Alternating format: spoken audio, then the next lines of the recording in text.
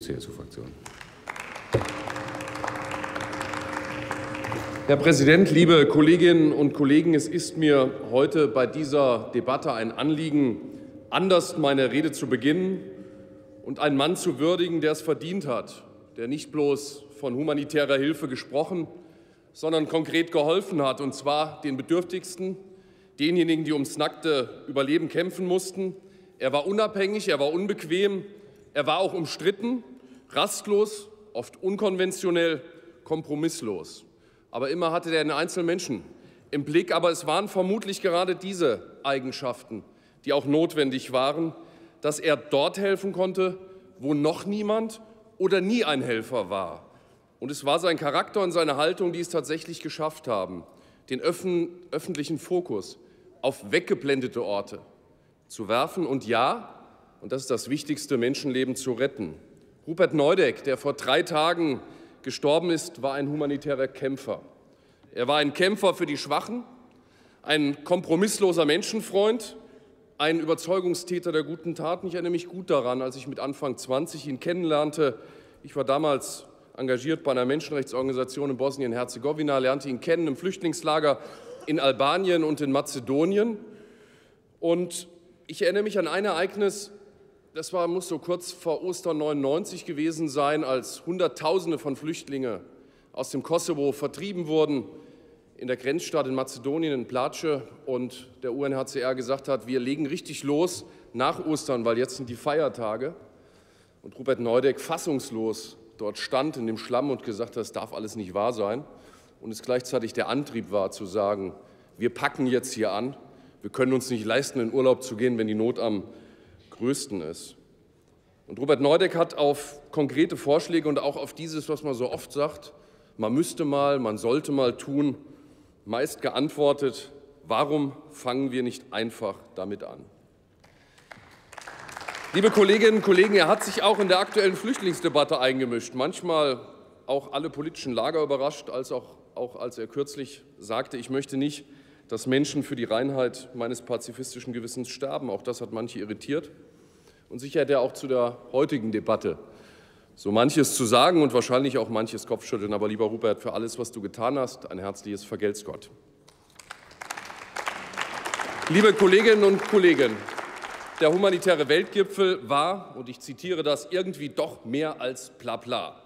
So hat das Ereignis ein deutscher Journalist in Istanbul kommentiert und er hat recht. Man darf den Gipfel nicht überhöhen, aber man darf ihn eben auch nicht kleinreden der humanitäre Weltgipfel, über 170 Staaten, rund 600 NGOs sind dem Ruf des UN-Generalsekretärs Ban Ki-moon in der letzten Woche gefolgt. Auch ich durfte als Vorsitzender des hier zuständigen Ausschusses Humanitäre Hilfe der deutschen Delegation angehören. Er war eine Premiere und ja, er war auch bitter nötig.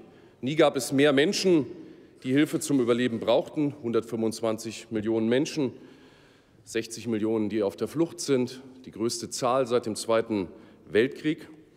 Und angesichts zahlreicher und vor allen Dingen auch der, lieber Herr König, Sie haben das gesagt, vor allen Dingen lang andauernden Krisen und Katastrophen verzeichnen wir einen stark anwachsenden Bedarf bei der Finanzierung humanitärer Hilfe. Beim Umgang dieser Katastrophe geht es um nichts weniger als einen Paradigmenwechsel. Die Perspektive der humanitären Hilfe, sie muss sich künftig noch viel stärker verändern von einer rein reaktiven Hilfeleistung nach einer Krise zu einem vorausschauenden Handeln zur Vermeidung von Krisen. Wir begrüßen sehr, dass die Bundesregierung hier wichtige Schritte getan hat, um sich auf diese Zäsur auch einzustellen. Der Ausschuss für Menschenrechte und humanitäre Hilfe hat in dieser Wahlperiode vielfache Initiativen ergriffen, in öffentlichen Anhörungen, Expertengesprächen viel mehr, national, international, zu den Qualitätsstandards für die humanitäre Hilfe auch jetzt zum humanitären Weltgipfel und seinen Folgen. Dass dort in Istanbul mit der Bundeskanzlerin, dem Außenminister und dem Entwicklungsminister Deutschland hochrangig vertreten war, unterstreicht, dass die Dringlichkeit der Herausforderung jedenfalls dort inzwischen angekommen ist. Dass aber die erste Reihe der anderen europäischen Regierungen, die wir in Europa eigentlich alle das größte Interesse gemeinsam haben sollten, zu Lösungen zu kommen, durch Abwesenheit geglänzt haben, genauso wie die Vetomächte kann ich nur als kurzsichtig und ignorant bezeichnen. Die Initiative, die Initiative für diesen Gipfel war und sie ist richtig, weil er bereits in der Vorbereitung einen dringend notwendigen Prozess der Veränderung in einer sich dynamisch verändernden Welt angestoßen hat. Gelöst ist nichts. Umso mehr kommt es jetzt nach Istanbul darauf an, gemeinsam konkrete Schritte auch umzusetzen. FENRO, der Verband Entwicklungspolitik und humanitäre Hilfe deutscher Nichtregierungsorganisationen, hat recht. Das humanitäre System ist in seiner derzeitigen Struktur den gewaltigen Herausforderungen nicht gewachsen. Es ist unterfinanziert, agiert zu schwerfällig und zentralisiert. Wir brauchen deshalb eine stärkere, und da stimme ich wieder mit dem Kollegen Königs überein, Dezentralisierung und Lokalisierung humanitärer Hilfe. Und liebe Kolleginnen und Kollegen, was muss eigentlich noch passieren, dass nach großspurigen Ankündigungen auf internationalen Geberkonferenzen auch das zugesagte Geld dann dort ankommt, wo es am nötigsten gebraucht wird. Ich glaube, der humanitäre Weltgipfel muss zu einem Ausgangspunkt für eine konkrete und umfassende Reform des humanitären Systems genutzt werden. Wir alle müssen die Krise zum Wendepunkt machen, die Krise auch als Chance sehen, die Ursachen eben nicht länger und konsequent zu ignorieren. Niemand sollte sich einbilden, dass sich die Krisen von alleine erledigen, dass man sie aussitzen könnte und es möglich wäre, so weiterzumachen wie bisher. Und dass es so weit kommen konnte, zeigt auch, wo die Versäumnisse liegen. Jeder erinnert sich an den Dezember 2014. Der frühere UN-Flüchtlingskommissar Guterres hat es ja erwähnt, die Einstellung des World Food Programms für 1,7 Millionen Flüchtlinge, der eigentliche Auslöser für die Fluchtwelle.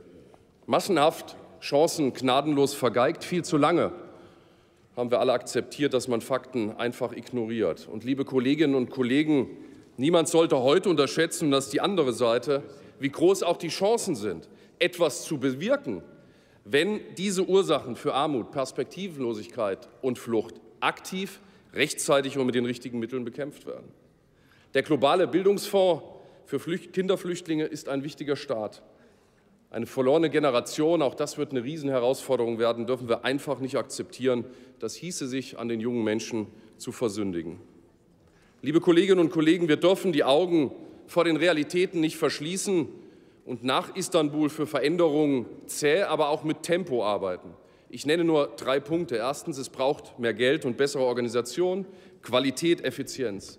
Zweitens, wir müssen raus aus dem permanenten Krisenmodus und zu einer vorausschauenden Hilfe, die auch neue Akteure wie die Privatwirtschaft einbindet. Und drittens, gerade diejenigen, die die Hilfe am nötigsten brauchen, erreicht sie oftmals nicht. Ich denke an die Menschen in Syrien, in Jemen, im Südsudan, weil es keinen sicheren Zugang gibt. Und das darf auch bei aller Gipfelrhetorik nicht verdrängt werden. Der EU-Kommissar für humanitäre Hilfe und Krisenmanagement Christos Stylianides hat mir gestern im Gespräch hier im Deutschen Bundestag gesagt, dass es in Istanbul über 1000 Selbstverpflichtungen gegeben hat. Liebe Kolleginnen und Kollegen, versprochen wurde in der Vergangenheit genug. Umsetzung ist endlich angesagt. Auch deshalb wäre es richtig und notwendig, dass es einen Überprüfungsmechanismus gibt, zum Beispiel ein internationales Monitoring-System mit Berichtspflichten. Auch das ist für mich eine Konsequenz aus diesem Gipfel in Istanbul. Jeder muss wissen, wer seine Zusagen eben nicht eingehalten hat, wer sie gebrochen hat, wenn außer Worten nichts geblieben ist und die nächste Katastrophe mit Achselzucken zur Kenntnis genommen wird. Liebe Kolleginnen und Kollegen, wenn aus Worten Taten werden, dann wird der humanitäre Weltgipfel ein großer Erfolg. Um es mit Rupert Neudeck zu sagen, warum fangen wir nicht einfach damit an?